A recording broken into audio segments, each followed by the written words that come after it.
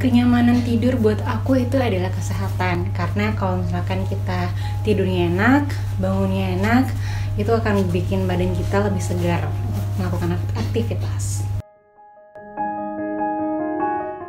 Uh, setelah aku coba pakai kasur mimpi itu nyaman banget. Dan kasur mimpi itu kasih 100 hari untuk coba trial. Jadi misalkan kalau kalian yang ngerasa cocok dengan kasurnya bisa dibalikin bed itu tuh bener-bener worth it banget dan bagus.